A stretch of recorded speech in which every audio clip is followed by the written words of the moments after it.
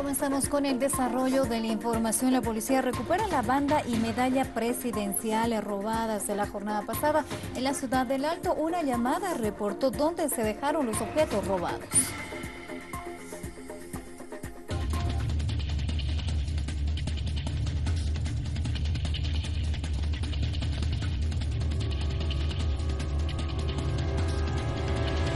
Mediante un comunicado, la cartera de defensa confirmó el robo de la medalla y banda presidencial, hecho registrado la jornada pasada en la ciudad del Alto.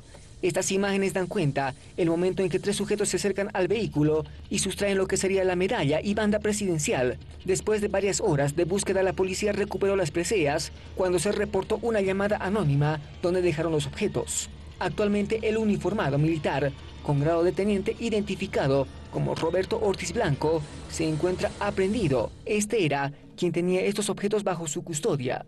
A la fecha se identificaron a dos presuntos autores del robo.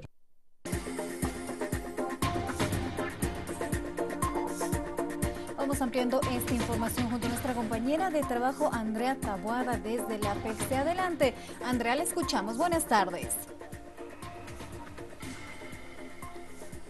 ¿Cómo estás, Karen? Muy buenas tardes. Así es, justamente nos encontramos en instalaciones de la FELCC. Hace unos instantes nada más el director de la FELCC La Paz, el coronel Johnny Aguilera, brindaba un informe eh, sobre eh, cómo se habría recuperado los objetos eh, presidenciales. Y es en este lugar donde nos encontramos justamente, todos los medios de comunicación también están justamente recabando esta información. se menciona al momento de que habrían dos posibles autores del hecho que serían de nacionalidad peruana. Es lo que ha mencionado el coronel Johnny Aguilera y que, bueno, este, los objetos se evalúan entre 200 280 mil eh, dólares aproximadamente. Se habría encontrado los objetos en una bolsa negra, ahí estaba justamente la mochila, esto en instalaciones de la iglesia de San Pedro, es lo que se nos menciona, esto habría ocurrido a las 11.45 mediante una llamada anónima que se habría realizado a un medio de comunicación colega el cual habría informado también eh, por parte de testimonios de vecinos de que habría una, eh, la existencia de una bolsa negra justamente en la iglesia de San Pedro y es así como se ha dado a, ya a tener eh, y a obtener nuevamente a recuperar lo que son los objetos presidenciales.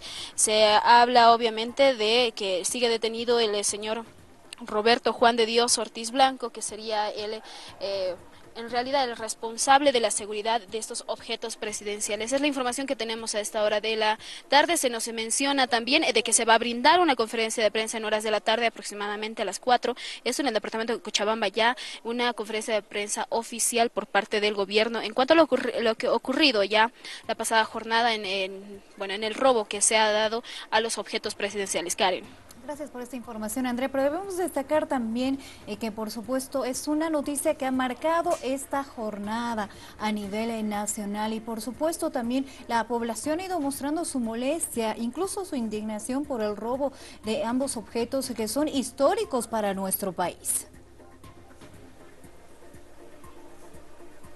Exactamente, son objetos eh, que obviamente tienen eh, evaluada más la historia, sobre todo que tiene eh, en nuestra historia boliviana. Son, es un objeto que 65 presidentes lo han estado llevando y también obviamente tiene toda la historia con el señor Simón Bolívar, que ha sido el primer presidente de, nuestra, de nuestro país. Karen. Así es, efectivamente. Vamos a estar pendientes a esta y otras informaciones. Andrea, gracias.